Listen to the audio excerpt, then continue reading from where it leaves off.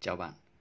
À, nếu bạn đang thực sự à, tìm kiếm cho mình một cái cơ hội sở hữu một cây à, si à, si đỏ thì đây là cơ hội dành cho bạn. Thứ nhất, si là à, một loại cây để chúng ta xứng đáng để sưu tầm. À, với cái si này thì bạn sẽ nhận được những cái giá trị như sau. Một là cái thân nó khá là già.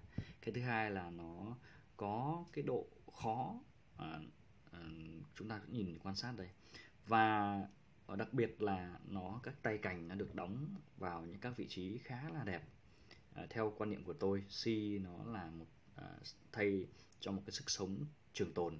Bạn có thể sưu tầm nó uh, bất kỳ loại si nào nhưng đến với si đỏ tìm kiếm cho mình một cái phôi nó như thế này thì tôi nghĩ rằng là nó cũng không không quá nhiều nhưng mà giá thành của nó cũng không không quá cao.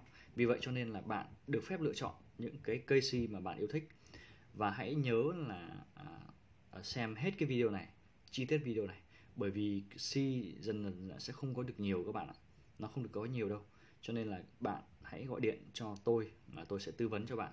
Nếu thực sự bạn quan tâm thì hãy gọi điện vào số điện thoại ở bên dưới cái video này để chúng ta có thể là à, à, giao lưu và may mắn được là người bạn với nhau. Bạn nếu bạn muốn sở hữu nó thì tôi sẽ tư vấn cho bạn.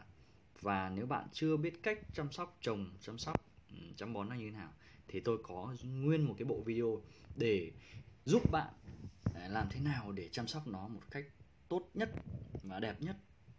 À, tất cả những cái trải nghiệm và những cái uh, trải nghiệm của tôi, tôi sẽ giúp cho bạn uh, sở hữu cái cây si này đúng theo mong muốn. Thì hãy nhớ gọi điện cho tôi nếu thực sự bạn quan tâm và giá à, tại thời điểm hiện tại nếu các bạn xem được video này à, bởi vì bạn chưa ra quyết định thì giá nó có thể được có thể được vẫn tăng. Nếu bác bạn có thể ra quyết định ngay bây giờ thì bạn đừng chần chừ nó và hãy gọi điện ngay cho tôi. Thì để bạn biết được cái giá tốt nhất. À, xin trân trọng. Cảm ơn tất cả các bạn rất là nhiều. Xin hẹn gặp lại các bạn ở cái chương trình sắp tới. Xin chào và hẹn gặp lại.